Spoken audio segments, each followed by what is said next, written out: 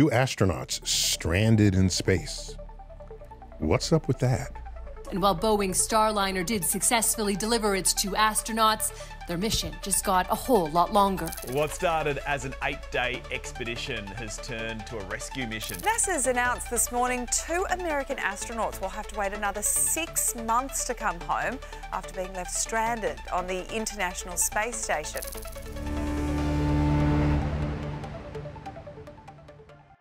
When I heard about this dilemma, uh, you know, I'm I, I'm an old man now, so I've been around many many decades. I try to put the potential catastrophe in context. Okay, that's what you do when you get older. You bring not knowledge to a thought, but wisdom.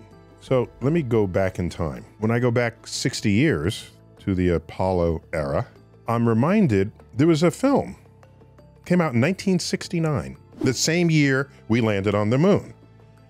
It was called Marooned. Astronauts marooned in space with no hope of being rescued. It had major stars. It had Gregory Peck. It had Gene Hackman. I remembered watching that film in real time and being very concerned for the astronauts because they were running out of oxygen. Right? That's kind of important thing you need to survive. They're in a space capsule, which is not very large. And I don't remember why they couldn't come out of orbit. That's not what I remember. What I remembered was the effort put forth by NASA and the public down on Earth to rescue them. But here was a problem. In the time we needed to rescue them, so that they wouldn't suffocate from the absence of oxygen, a hurricane was moving across Cape Canaveral. So they find out that the duration of the hurricane, because you're not going to launch during a hurricane, then you'd kill the astronauts going up to try to save them. So that you'd be worse. All right, there'd be more deaths. And then someone realized that the eye of the hurricane was going to move across the launch pad. The eye of the hurricane is quiet. Brilliant. So they set the launch time to match the moment that the eye of the hurricane passed over the launch pad. That's when they launched. Brilliant storytelling, brilliant space drama. And you see that it comes up through the eye of the hurricane, and they go rescue the astronauts who would have otherwise died. So, uh, my vocabulary, my sense of danger, my understanding, what shaped me as a space enthusiast and a space realist were not only the high dramas of stories depicted at the time, but the real drama of real astronauts whose life was put at risk. Uh, Apollo 13, uh, we've all seen that film and we know the story. That Apollo mission never landed on the moon, though it had intended to do so. A lot of uh, ingenious thinking had to go to keep them alive. Right, there was a tank that had turned and it exploded, and the oxygen supply was low. A, a lot of repeated issues related to their survival played out in Apollo 13. And I then catch a headline two astronauts stranded in space. Then I thought to myself, well, are they in a capsule? No. Where are they? Oh, they're in the space station. They're in the space station. Okay, well, why are they stranded? Oh, the vehicle that they took to get up there has attitude adjustment problems. Nothing emotional. There's some jets necessary to properly align a ship, to dock, to make micro maneuvers that you need to do to make precision movement with the craft. This was the first out test of Boeing Starliner. Let us remind ourselves that the first time you do something with a new piece of hardware, there's probably going to be problems with it. Probably. That's how this works. That's how all frontiers are breached. You do the best you can and you realize, oh my gosh, there's something I had not foreseen. There's something I had not considered. Happens all the time. In fact, the very Apollo era were increments. We remember Neil Armstrong, yes, but did you know that Apollo 8 went to the moon and came back, didn't land? So it, it figured that out. Then Apollo 9 didn't go to the moon at all. It did some maneuvers in orbit just to make sure docking and other tactics would work. And then Apollo 10 deployed the lander, the Lunar Excursion Module. It lowered itself to the moon, stopped, and then went back up to the command module without actually touching the moon. They wanted to test that. Come Apollo 11, every incremental bit of that trip had already been tested and the bugs were worked out. So that on Apollo 11, that their increment was not, oh my gosh, we went to the moon for the first time. No. It's we've been to the moon several times. We've even come close to the surface, and now you're going to go all the way to the surface. Yes. That's how exploration works. That's how discovery works. So the fact that there are problems with the Starliner, that I'm not I didn't lose sleep over that. Okay? I'm glad the astronauts were safe docking with the space station. Back to their safety. So, my two marooned astronauts in this 1969 film were in a small capsule running out of oxygen. Where are our two stranded astronauts? In the International Space Station. Do you know how big the space station is? In total, with solar panels included, it's the size of a football field.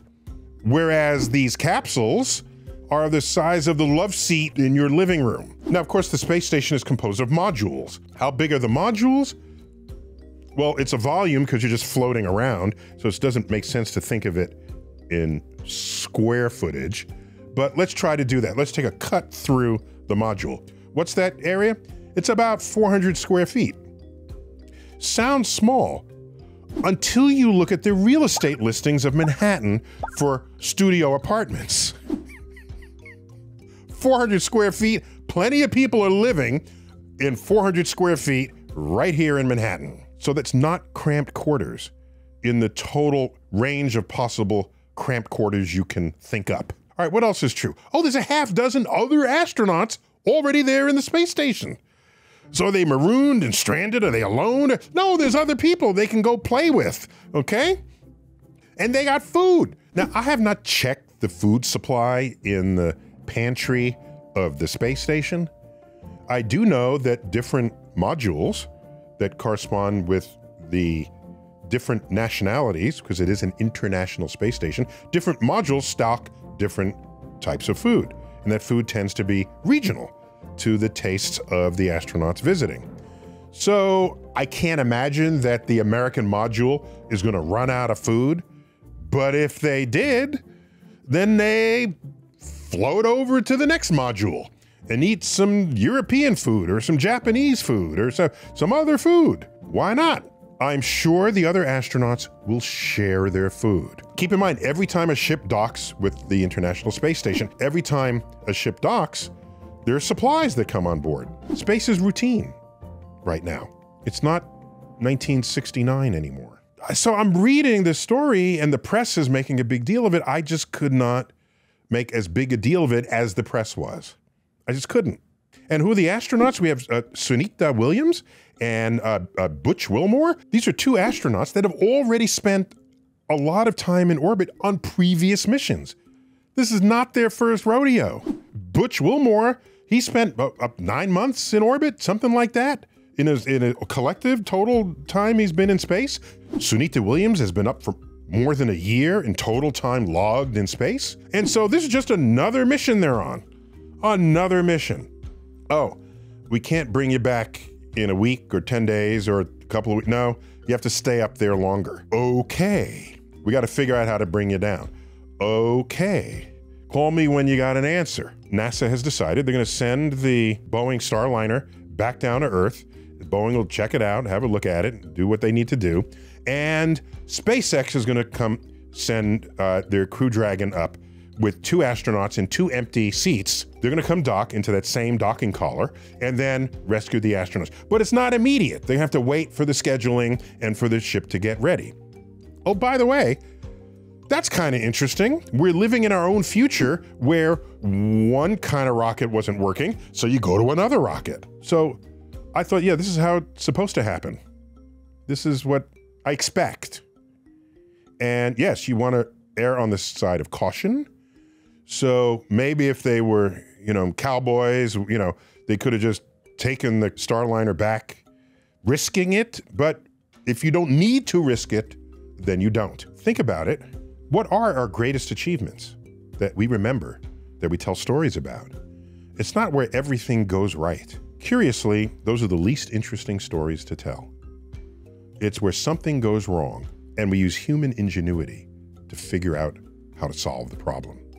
And in the case of space, that human ingenuity lives in the mind and creativity of engineers, especially, and occasionally scientists.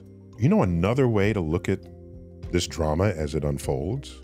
If I were one of those two astronauts, Sunita or Butch, and I get the call from NASA, we can't take you down on the Boeing Starliner. You got to wait six months for a different vessel to rescue you. My reaction would be cool. I get to spend more time in space. There are people who spend millions of dollars to gain access to space. Millions. Buying a seat to get put on a rocket. Now we have two astronauts who are being forced to spend more time in space. They're astronauts. I assure you, they love space. Sunita Williams, Butch Wilmore will welcome you back to Earth when you come.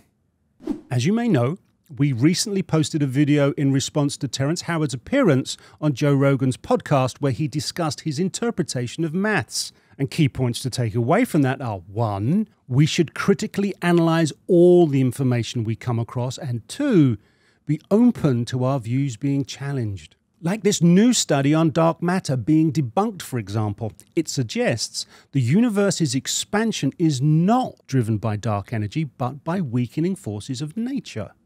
Now, when it comes to new theories that challenge our accepted understanding of space, it's important to see how different scientific sources are interpreting these new findings to fully understand it. Luckily, Ground News makes this much easier to do. With the Vantage Plan, you get access to original research, plus every article covering it, and even insight on each news publication's political bias and credibility. Context that could influence their reporting. Their founder and former NASA engineer also designed their blind spot feed, which uses patented technology to help us easily step out of our echo chambers and see important news stories we might have otherwise missed. Exposing yourself to diverse perspectives helps ensure that you don't just know enough about an issue to think you're right, but you actually know enough to recognize when you might be wrong. So, avoid the Dunning Kruger effect, get ground news, and critically analyze the information you consume, all for $5 a month if you use our link or scan the QR code. You're saving 40% on the same unlimited access Vantage plan you use with the discount. We really can't recommend Ground News and their commitment to rigorous analysis and combating misinformation enough.